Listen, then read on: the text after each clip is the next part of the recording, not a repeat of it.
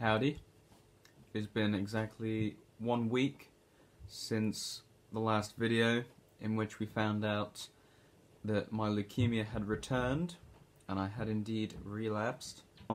One week on from then and we have received a call from the hospital sort of outlining what the next steps will be. But before we get into that, let me tell you about the week I've had. So obviously it's been quite a surreal sort of week and we've gone about it first by making some very dramatic changes to my diet. So the approach we're going for this time is not to just rely on medication and treatment from the hospital, but also to be more mindful about what I'm putting in my own body.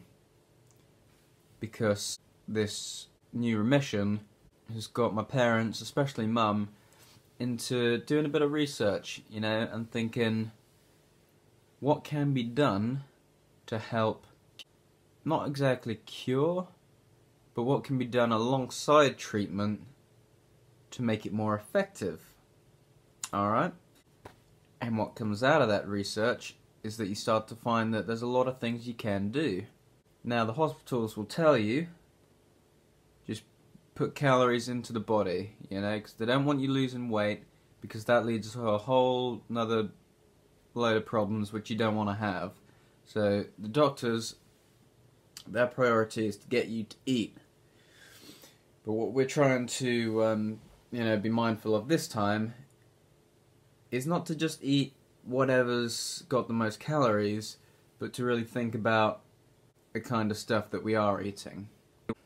So let me tell you what I mean. So, for example, pork, bacon, sausages, uh, all the best meats. Not really supposed to eat those anymore. Something about pigs and their diet and how the meat is processed and stuff doesn't really lend itself to curing cancer.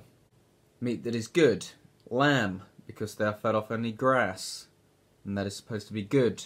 Chicken, if it's organic, good. Dairy, bad, apparently. Not sure why. Something to do with cows. Sugar, bad, also.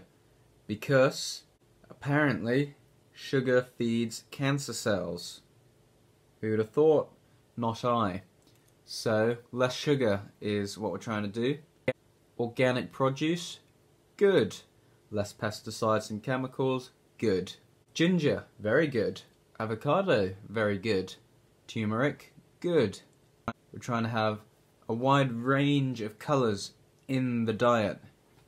So you know when you got your red peppers, your green peppers and your yellow peppers, all that, all that stuff, carrots, good.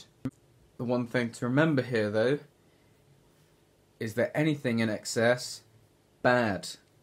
You need to have a range of stuff, alright? And you can't just have what has the most calories. That is the epiphany that we have had, and we're going to see how it goes this time. If I get cured again, and cancer doesn't come back, maybe we could call that a success.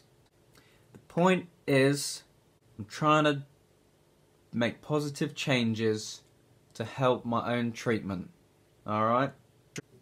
Which is a perfect opportunity to talk about that treatment. So the hospital called this afternoon. They say, we've got a plan for you. Turns out that targeted chemotherapy that I spoke about last week won't work. Uh, they did a couple of tests to try and weigh up if the leukemia will respond to it, and it doesn't. So, we're going to go with good old fashioned stick it to 'em chemotherapy. And that will involve, of course, myself, probably having a line put in, nice little Hickman line or a PICC line or something. Put a bit of chemo in, and I believe it's going to be like two sessions a day, uh, like every other day, for three sessions. So it'd be like the first day, skip a day, chemo on the third day, skip a day, chemo on the fifth day. Yeah? So that's how it's going to go. And then it's just that sort of recovery process after that. So, uh, you know, just waiting for the cells to grow back. We've done it before. We've done it three, four times before.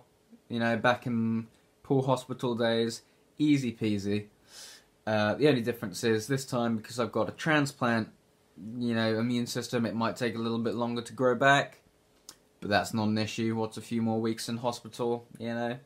I'm just glad that we now have a plan and can relax a little bit knowing what's happening. So I'm due to be admitted sometime in the near future, you know, probably no more than a, a week. Um, and it's now just down to the, the team at the ward in Southampton to get things prepared for me. And that is now where we stand. So I will do my best to keep you all informed as we go about this journey. Do subscribe to the channel and press the little bell next to that so that you're alerted when I upload a new video and you will be up to date on my progress. But for now though, that is all today. Bye.